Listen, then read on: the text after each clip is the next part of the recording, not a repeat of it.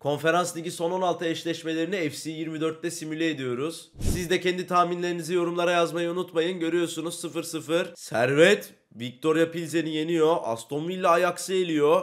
Kulüp Brüj tabii ki Molde'yi eler abi. Aynen öyle. İki maçta dendi. Fenerbahçe ilk maçta rakibini yeniyor. İkinci maçta da yeniyor. Fenerbahçe üst tura çıktı. PAOK Zagreb maçı. İlk maçı PAOK kazanmıştı. ikinci maçı kaybetti.